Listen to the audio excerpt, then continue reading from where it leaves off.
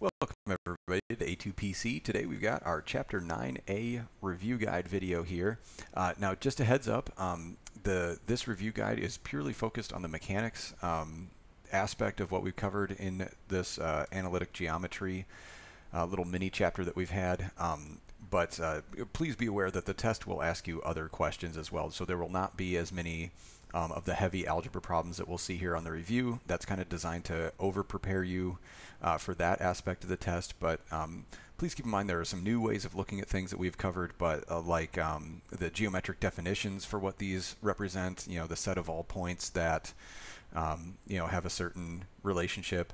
Um, so we're going to want to keep that in mind. Uh, we also want to keep in mind too, like some of the other discussions we've had, such as reflective properties um, of these conic sections and their usefulness, um, and kind of how we've explored them in the XY plane. So, um, so while this will do a, a uh, hopefully a very thorough job of covering the mechanics, there will be some other elements to the test.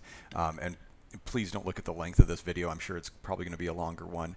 Um, please don't look at the length of this video and, and take that as any indication of what the, the test will be in terms of how long it is. Um, so drastically cut down the number of graphing and algebra problems um, uh, in, in order to replace with some of those other conceptual things. All right, so that being said, let's get right into the mechanics. Uh, we open up with eight uh, on our review here, eight problems where we have to uh, generate a graph and then also identify some of the key elements of the different conic sections. Uh, and we start off with two parabolas. So the first parabola is in standard form. All right, so I notice that uh, when I have an x being squared, and when that's the quantity being squared, that this is a vertical parabola. Okay, so I just want to keep that in mind. Um, and because uh, we have an x squared equaling a, a, negative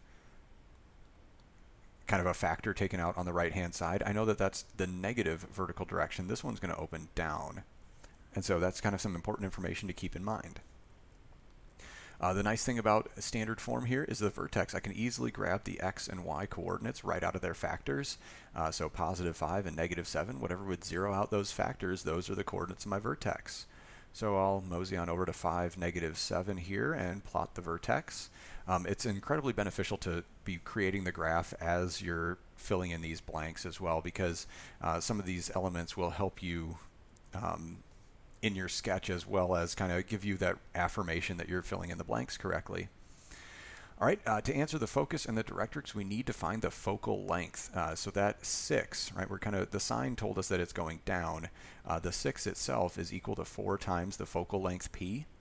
And so if we solve that for p, we find that p equals 3 halves. So I know that my focus will be 1 and 1 half units down from that vertex. And that's telling me that the graph will bend around that focus uh, to, to give it that downward opening appearance. Um, now that since I have the graph and this focal distance, I can go from my vertex and just say, okay, well, if it's just going to go down, it's going to keep its x value of 5, but now it's going to go down to um, 8 and 1 half, um, which would be 17 halves. Negative 17 halves. And then the directrix line, if this is a vertical parabola, the directrix line is going to go horizontally, and it's going to be that same focal distance p, one and one half units, but this time above the vertex, kind of giving a backboard is how I think of it, um, a backboard to that graph. Okay, so that horizontal line is a y equals line, um, and it's at negative 5 and 1 half, negative 11 halves. All right, and then the last thing we need to do is actually draw the graph in. Um, and in order to do that, we don't just want to casually draw in a, a curve right here. Um, we know that there's a measurement. This 6 is actually telling us way more than just the focal length. It's giving us a width measurement as well, known as the latus rectum. And we talked about this in section 9.1 when we went through it a little bit more uh, in a little bit more detail. Uh, but this distance of 6, four times the focal length, that's the, the width of the parabola total width, if I go through um, that focal point, I'm kind of mirroring or running parallel to uh, that directrix line. So if I go three units to the left and three units to the right directly from that focus, see I get a total distance of six. That's the width of this parabola. And now I can connect those three points with a nice curve uh, to actually have a more accurate graph. Problem one is done. Okay, problem number two, you'll, you'll kind of notice this theme with each of our conic sections. and uh, I think I said we had eight, but we only have six. Um, but uh, for each one, we're going to have one that's given in standard form, like the one up above, and then we'll have one that where we need to complete the square. And they're all kind of sorted with their titles. The same will be true on the test. I do give you some indication of what type of conic we're looking at. So um, for problem number two, we've got to complete the square and set up that standard form for this parabola that's given in number two. So I noticed that my y variable is the only one that has a squared and a first power term, so that's where I need to complete the square. And in order to complete the square, I want 1 y squared, not 4. So I need to take a greatest common factor of 4 out of my y terms in order to establish a place where I can complete that square. Um, I'll move the other terms, um, in this case the x and the constant 100. I will add the 8x and subtract the 100 to the other side of the equation just to set up that something squared equals some unsquared quantity on the right, that standard form. Uh, to actually complete the square, I'm going to take that negative 6 that's on y here and divide it by 2 and square it, and we'll get a plus 9 and I've just added this to one side out of nowhere, so I need to keep my equation balanced. I'm not going to add 9 over to the right, though, because look at where I added this 9. It's inside a quantity that's being multiplied by 4. Uh, so 4 times 9, 36 is what I must truly add to the other side to keep my balance. We are now at 4 times the quantity y minus 3 to the second power. And on the right-hand side, we've got 8x minus 64. Okay, and uh, let's go ahead and divide both sides by 4 because we want our squared term to not have anything out in front. We want um, that factor to be showing itself on the right-hand side to get our focal length and our latus rectum. Um, so then on the right-hand side, I'll have 2x minus 16.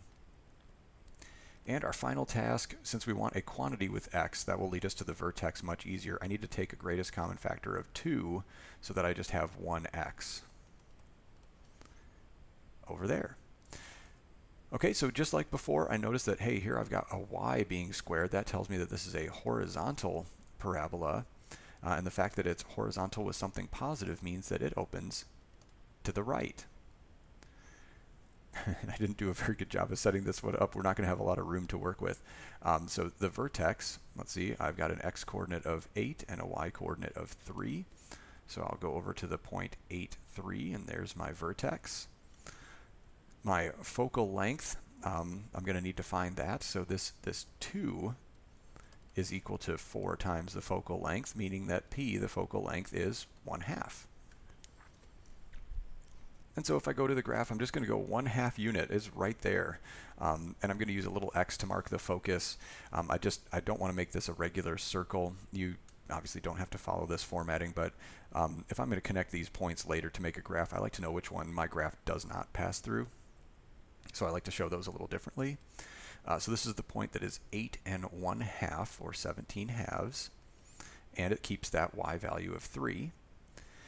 And my directrix line, because this is a horizontal parabola, it will go vertically, and I'll just mark off p units, in this case 1 half, to the left to kind of serve as that backboard. The graph will pass through the vertex and bend around the focus going off to the right. So it's a vertical line, x equals um, and this would be, oh, what would that be? 7 and 1 half, um, or 15 halves. Okay, let's find that latus rectum distance as well. Um, so we notice that we had a 2 out in front. That tells me that as I pass through the focus, a total distance of 2 sets the width of this parabola, and we can connect our vertex with those two latus rectum endpoints to get our graph.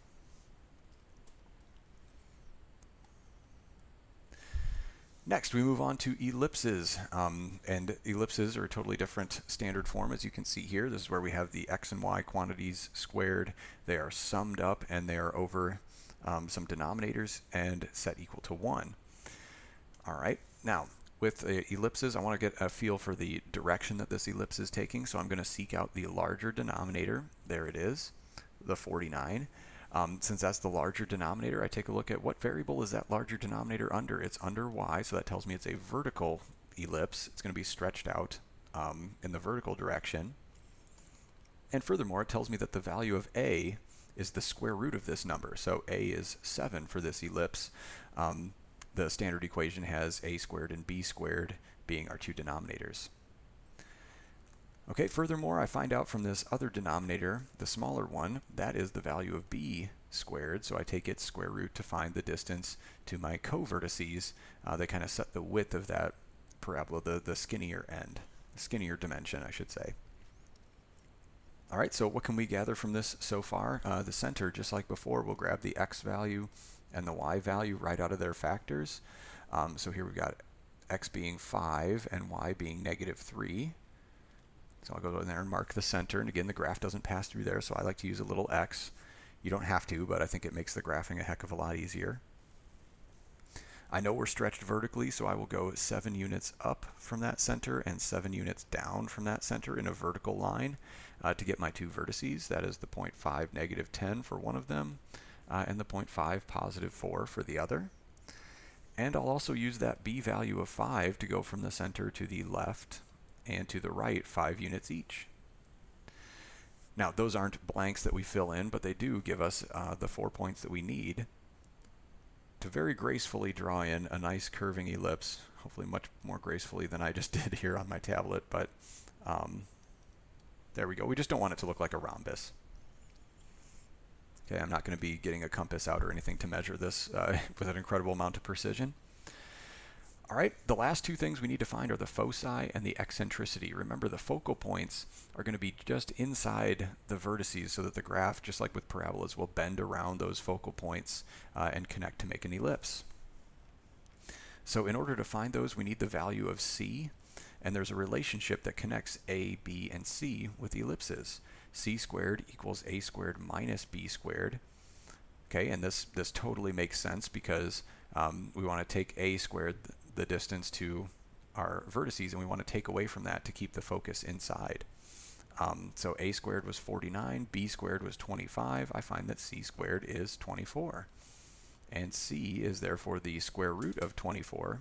And we're only taking the positive square root. Since we're talking about analytic geometry and a construction here, we're talking about distances, um, so we don't need to concern ourselves with plus or minus. Uh, that would be 2 square root 6. And I'm just going to type that up uh, for a decimal. I'm not going to use it when I fill in the blanks off to the side. Um, but 2 root 6 is 4.9-ish.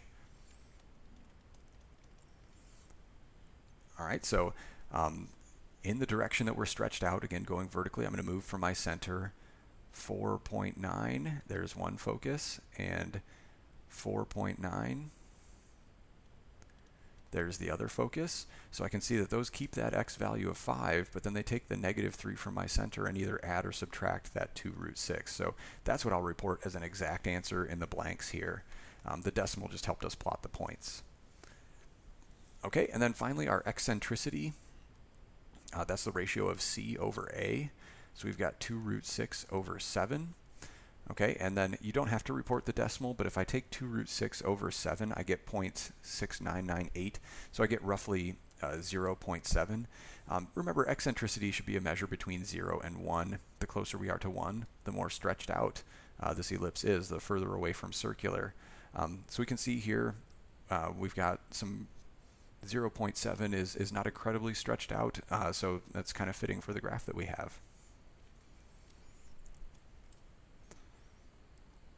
All right, let's take a look at an example where we have to complete the square first. Uh, with ellipses, you'll notice that both my x's and y's have both a squared term and an unsquared term. So uh, first task is just kind of some housekeeping to like structure my x terms together and my y terms together just so I can see where I need to complete the square. I'm going to go ahead and subtract the 204 to the other side as well. With my x's, I'm going to have to factor out a 5 from those x terms before I can complete the square. And thankfully for my y terms, the y squared term did not have a coefficient, so I don't have to factor anything out of those. But I will group them together in parentheses just to kind of help keep me organized with the structure. Okay, let's complete the square with x. We divide that negative 14 by 2 and square it, so we get a 49. 5 times 49 was truly added to the left-hand side, so 5 times 49, which is 245, needs to be added to the right. Let's complete our square with y. Divide by 2 and square it. add to the other side.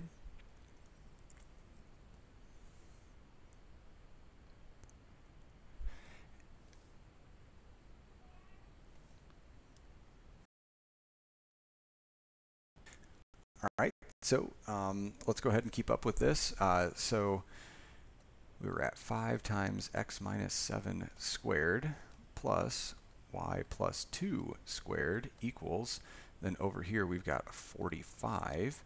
And then the final task is to set up those fractions and equals 1 on the other side. So I, I just need to divide both sides by 45. And that means dividing each term by 45 and then simplifying any fractions. So my final standard form is going to be x minus 7 squared over 9. The 5 over 45 simplifies to 1 over 9 plus y plus 2 squared over 45. That one did not simplify at all, and we're equal to 1. I can tell right away my center is going to be an x value of 7 and a y value of negative 2, so let's go ahead and plot that. Okay, and what else can I tell from this? Well, uh, the larger denominator is again under y, so this is a vertical denominator, uh, vertical, vertically stretched ellipse, um, and the a value will be the square root of 45 or 3 root 5, um, which again, if we're looking to plot points, is about 6.7. And I know that my b value, which will set the width, is 3, the square root of 9. Okay, so my vertices are going to take that uh, x value of 7 and they're going to keep it. We're going to go up 6.7-ish and then down 6.7-ish. Okay, but we're going to report that as negative 2 plus or minus 3 root 5, an exact answer there. Okay, and then uh, we just need the foci and the eccentricity. Uh, well, I guess before I do that, let's go ahead and use the b value to set our width. So from the center, we'll go 3 units left and 3 units right. And we can probably tell right away this, this ellipse is a little bit more stretched out than the last one. Uh, it's a lot further away from circular. Okay, so let's find our c value. So again, c squared is going to equal a squared minus b squared. I find that c squared equals 36 and that tells me that C equals 6 units. So from my center, I'm going to go up and down 6 units to get those two focal points there and there. And that would be 7, 4, and 7, negative 8. And lastly, the eccentricity, that's going to be c over a. Uh, so in this case, we've got 6 over 3 root 5 and I don't want to leave that answer that way with a radical in the denominator. Um, so I will divide top and bottom by 3. That will be 2 over root 5. And multiply top and bottom by root 5. So I get 2 root 5 all over 5. And if we were curious, that's approximately 0.89 which as you can tell, that's much closer to 1 than what we had in our last example hence the ellipse that's more stretched out. Okay, the last of our graphing problems are hyperbola problems. Um, and so as we carry these out, it's going to be very similar to ellipses, except the foci are going to be outside the vertices instead of inside, causing the graph to, to open outwards instead of inwards and connect up. Um, so uh, very similarly, we're going to use like some A and B and C values. Um, and also very similarly, we're going to start with the center. So the X and Y coordinates can be found right out of those X and Y quantities. In this case, negative 4, 2. Okay, and with hyperbolas, because this is a subtraction of two terms, my x term and my y term, um, the order matters. So the denominator of the first term in this subtraction problem not the biggest, the first one uh, is going to tell me the direction and the a value. So because this is under x, I know this is a horizontally opening hyperbola. It's going to open outwardly left and right. Um, and I know that my a value is going to equal 5. All right, so we're going to go ahead and take that and go 5 units, 1, 2, 3, 4, 5 to the left, and 1, 2, 3, 4, 5 to the right. Those are the vertices. Um, I also know that the second denominator is my b value squared, so in this case b equals 3, and that just kind of sets the width of these two branches that are um, opening left and right. So I will go up 3 units, and I like to make a little triangle for those, up and down. And so let's go back, and I, I should have done this earlier, but uh, the, the vertices are going to be at negative 9, 2, and positive 1, 2. And what we do with uh, these a and b values that we've marked out is we construct a rectangle that passes through those four points.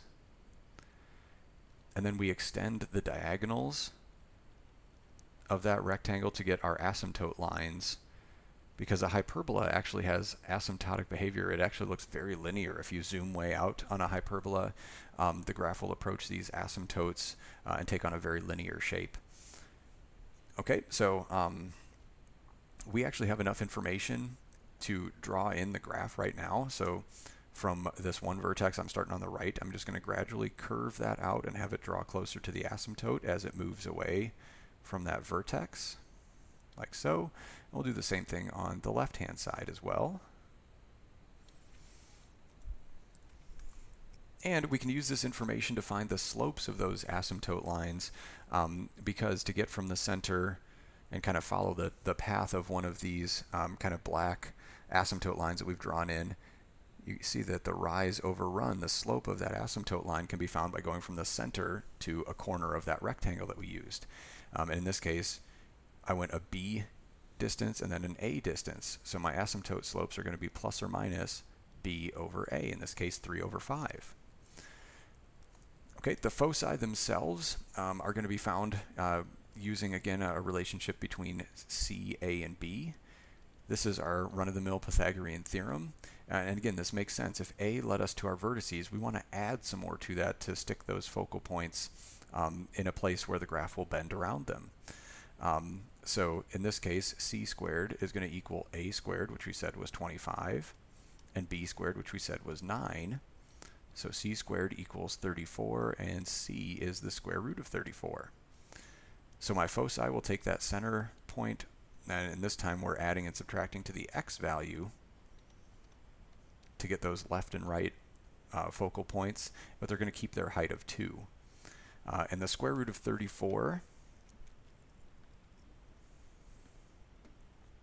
is just about 6. Um, so we're going to go 5 units and then just a little bit shy of 6. Right there.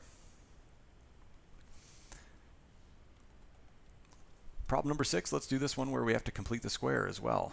Okay. So again, I'm going to kind of structure this in such a way that um, I feel like I can set up that standard form subtraction problem.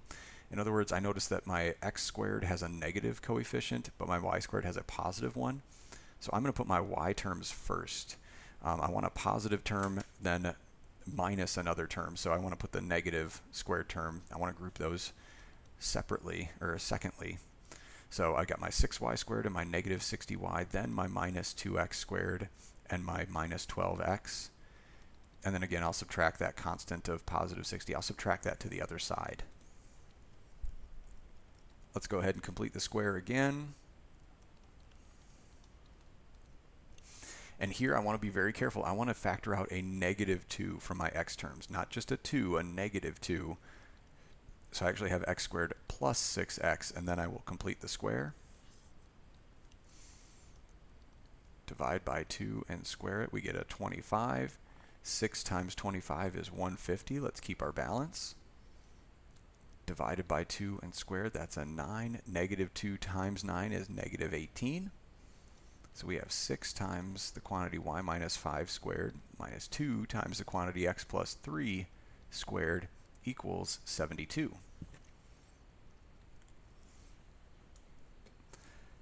All right, and our last task is to divide everything by 72. Just like with the ellipses, we want our standard form to have um, fraction terms here with x and y squared uh, equal to a 1 on the other side. So let's simplify some fractions. Y minus 5 squared over 12, 6 over 72 simplifies like that. Um, minus x plus 3 squared over 36 is equal to 1. Uh, and instantly I know that my center is going to be negative 3, positive 5. So we'll go negative 3, 5 and plot our center point. Um, I can also tell, because the first denominator is under y, this is a vertical hyperbola, and the a value is going to be the square root of 12, or 2 root 3, which is approximately 3.5, just for graphing purposes. So I'm going to go up and down, 1, 2, 3.5, 1, 2, 3.5. Those vertices keep an x value of negative 3, but they take my y value 5 and add and subtract 2 root 3.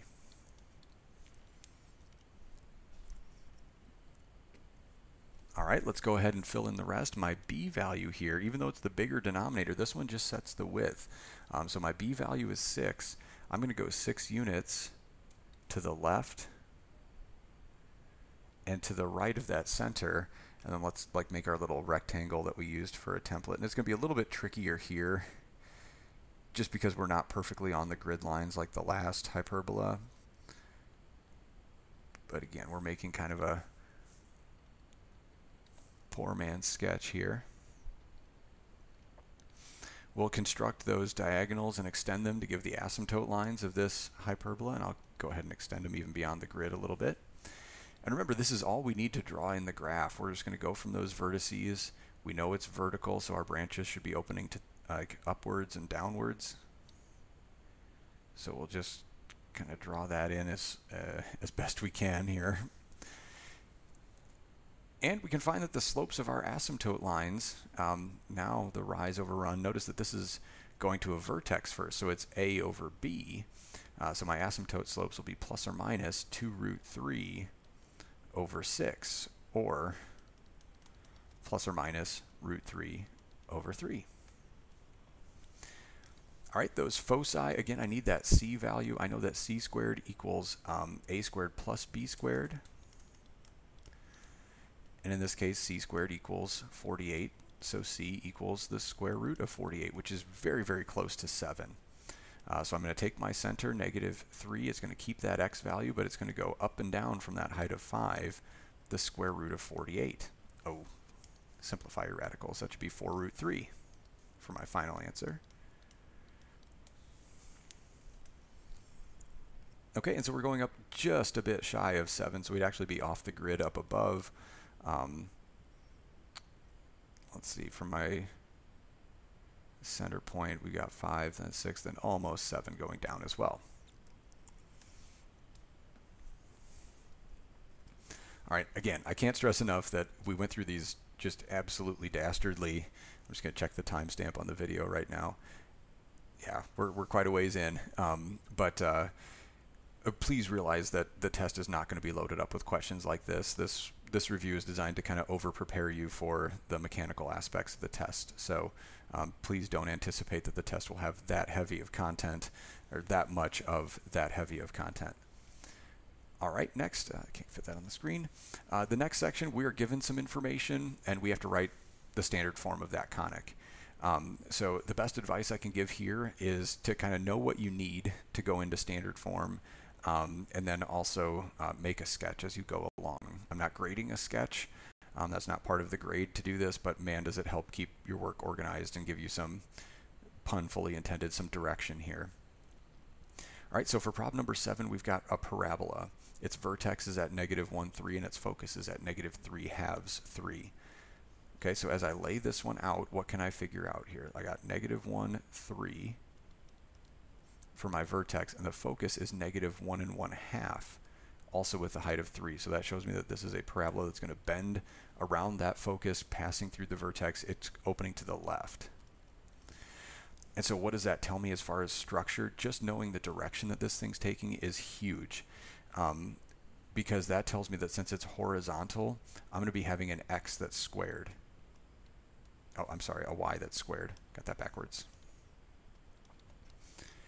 Okay, I'm going to need some p-value, but then I'm going to have some x quantity that is unsquared. Um, I do know that my vertex is negative 1 and 3, so I can fill in that y value of 3 and that x value of 1. And then all that's left is we need to find the p-value.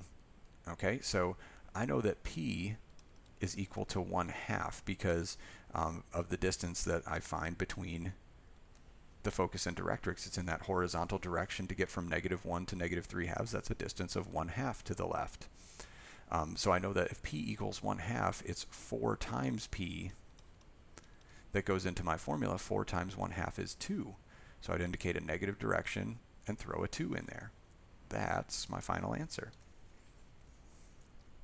So it's kind of a build this as you go. They're definitely much faster than the problems above where we have to do all the painstaking graphing work and completing the square. There's not as much algebra here, uh, but there's a big constructive element that does um, kind of take some time, and that's where the sketching really helps. All right, number eight, my vertex is at negative 2, negative 5, and my directrix line is y equals negative 3. So again, that tells me that this graph is going to open away from that directrix line. It's going to open downward. So I know that I've got a downward facing parabola. And it tells me that the distance p here is 2 units. Okay, so let's see. A downward facing parabola is going to have x being squared, and it's going to equal something negative, and then I'm going to have my y quantity unsquared. I know that from my vertex, my x value is a negative 2 and my y value is a negative 5. And I know that since p equals 2, 4p is going to equal 8. That's our final answer.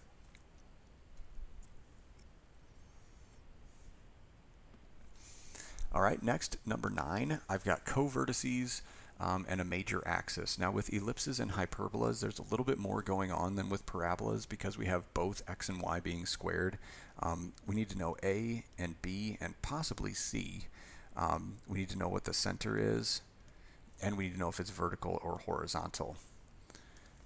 All right, so for number nine, my covertices, I'm going to start making a sketch here because otherwise I won't keep this straight. Covertices are at negative 6, 2. That's a covertex. And then 2, 2, other covertex. Um, and the major axis is 10 units long. I'm just going to make a note that I know major axis is 2 times A. And so here, let's uh, let's see. I know that the perfect midpoint of these two covertices is going to be where my center is located. Um, so that's going to be the point negative 2, 2. And we could just take the midpoint algebraically, or we could use our graph to see what would be perfectly in the middle of those two. And here we can see that that's 4 units away. All right, so my center point, I found out that that's negative 2, 2. I figured out that since these are covertices, the stretching is happening vertically, and I know that my b value is 4 units from the center to either of those covertices that I know. Lastly, since the major axis is 10 units long, I know that the a value is half of that major axis. It has to be 5. All right, so let's see what we've got here. For an ellipse, I know I've got some x quantity squared over something plus some y quantity squared over something equaling 1. Okay, I know that my center is negative 2 for an x and positive 2 for a y. So again, we just switch the signs when we go from the actual coordinates to the factors.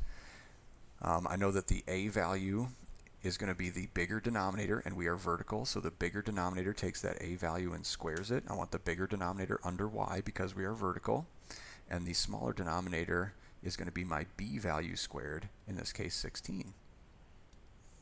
There we go. I don't know why I'm not building these in the blanks right now, but we'll use the space we have, right?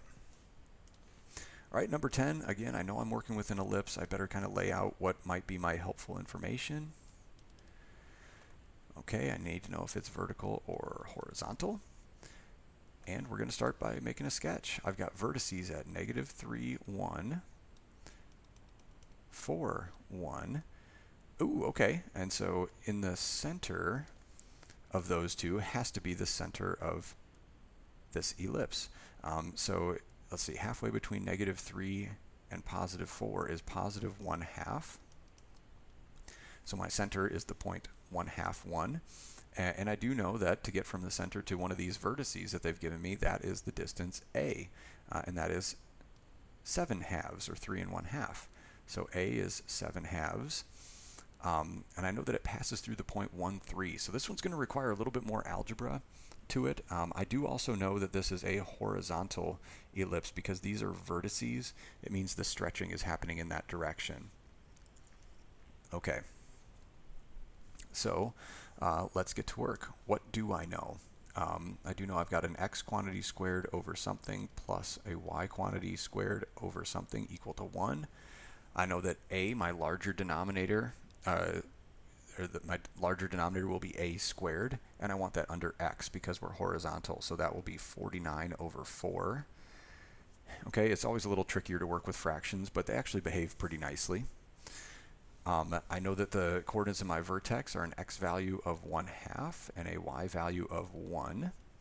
And the only thing I do not know is b squared. Now we have not yet used this passes through point. That is a relationship of x and y that actually makes this equation true. So if I substitute in these x and y values, I will be able to solve for b squared. Okay, so let's see, x is 1 minus 1 half squared over 49 fourths plus y is 3 minus 1 all that squared over b squared. I'll end up solving for that.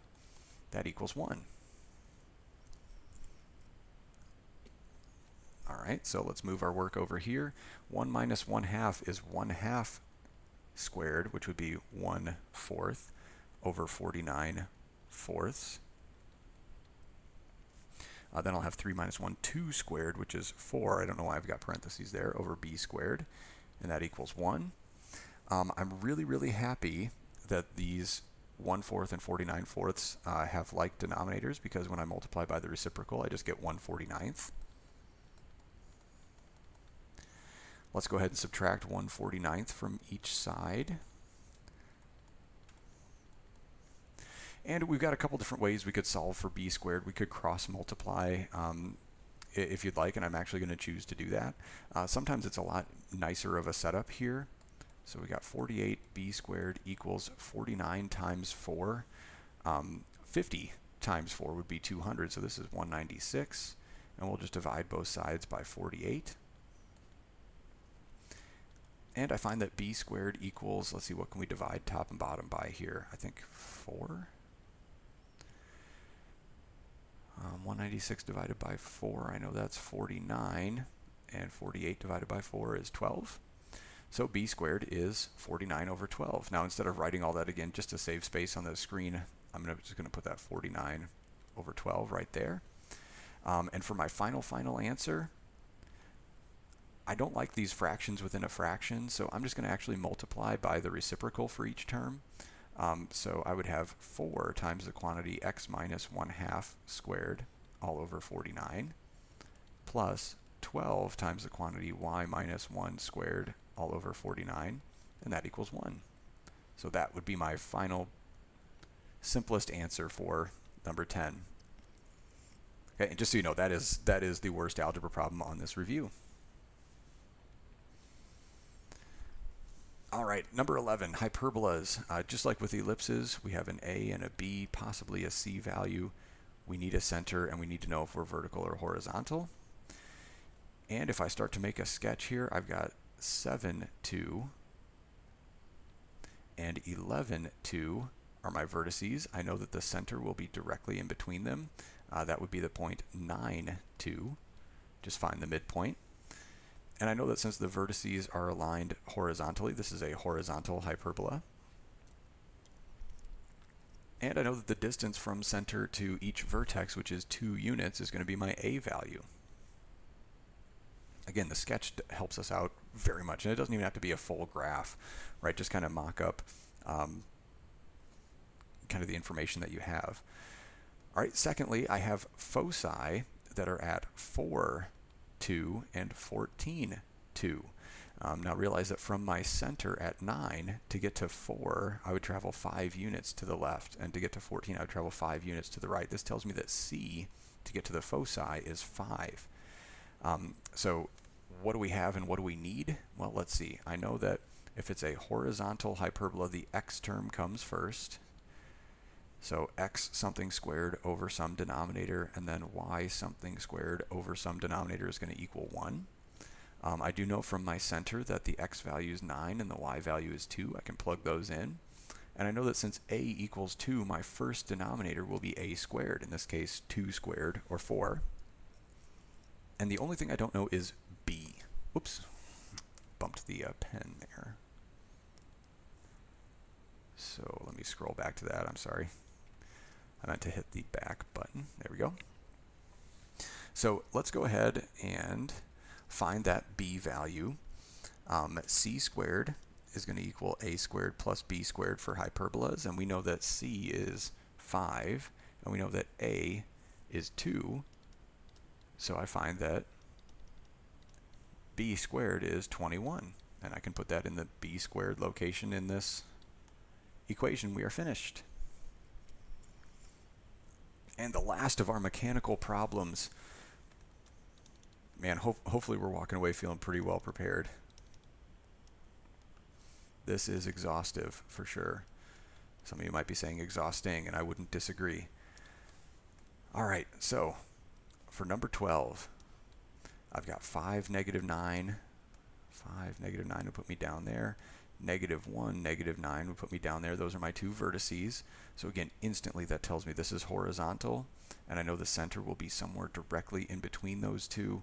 Um, 5 and negative 1 is 4, divided by 2 is 2. So we got a center point of 2, negative 9. That means 3 units to get to 5. 3 units. Yep, it checks out as a midpoint. And I know that my A value is going to go from 2 to 5 or 2 to negative 1. That's 3 units to get from center to vertex. Now next, the slopes of these asymptote lines, that gives me a ratio of either A over B or B over A. Um, so if I imagine this graph, and I'm, I imagine drawing in that box to set my asymptote lines, uh, my rise would be B and the run would be A. So this 5 over 3 is the ratio of B over A. Um, so I know that whatever B is over my A value of 3 has to equal the same ratio as the slope of these asymptote line equations.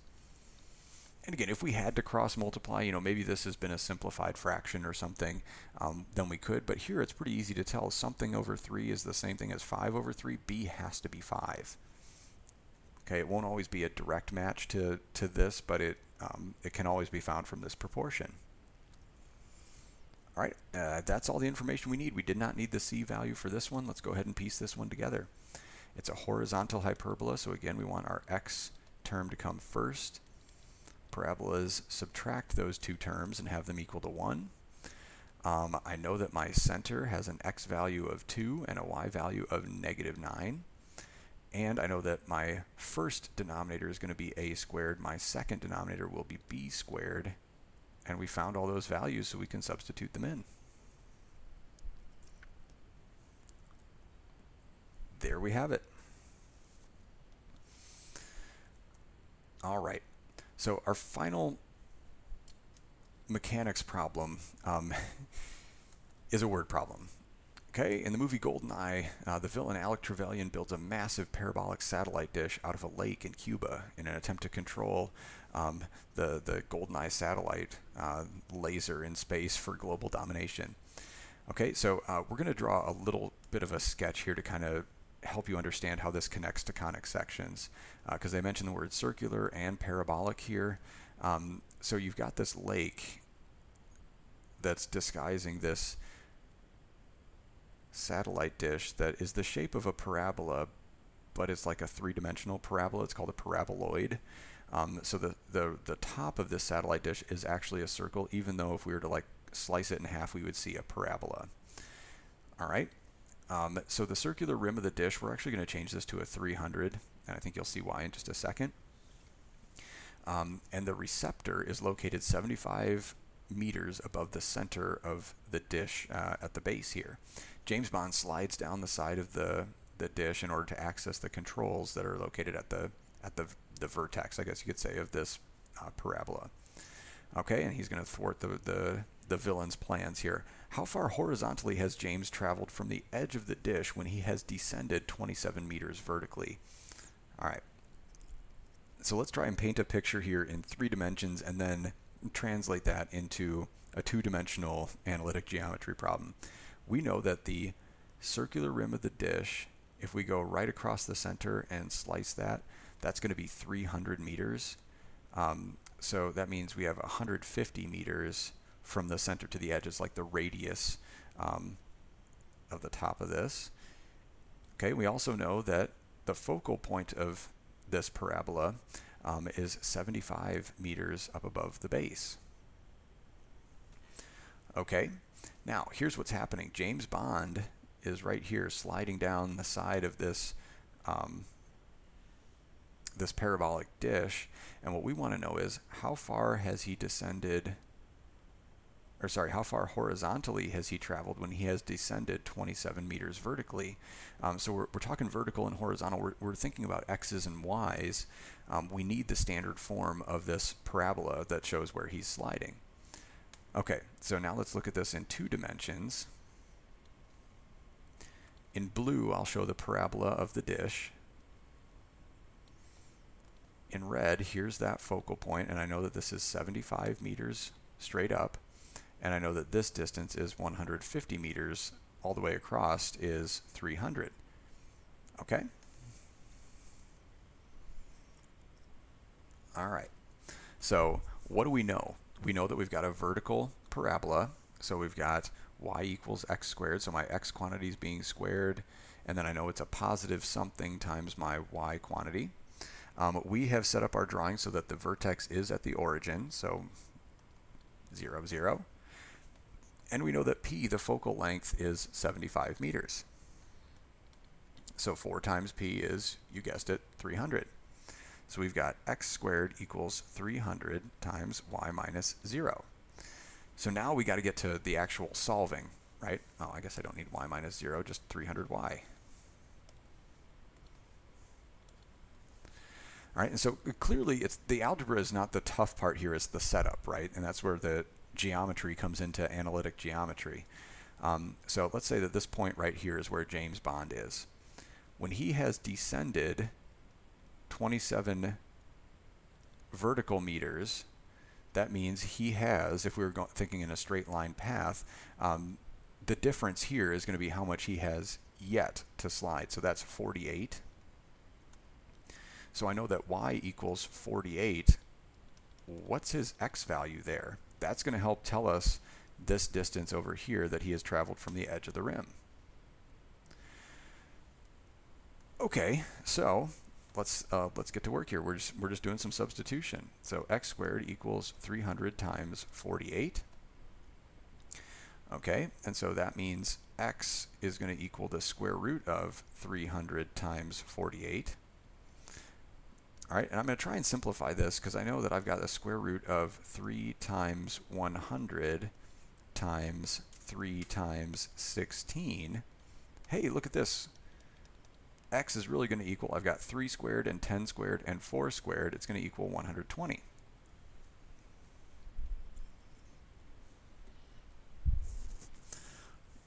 Right, 3 times 4 times 10 under that square root. Okay, so I should not have used x here. What we just found is that at 120 meters here, we have a height of 48. So how far has James traveled from the edge? Well, we know that the upper rim is 150 meters away. We found that there's 120 meters left to go in towards the center.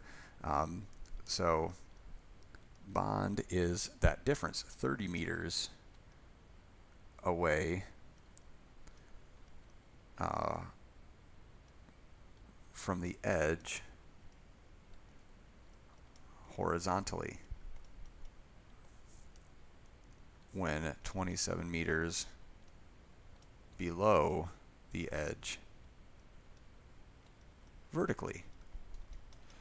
So this idea of building a standard equation of a conic and then substituting in to answer an x and y question um, is really how we can, like kind of fuse the algebra with the geometry in this section.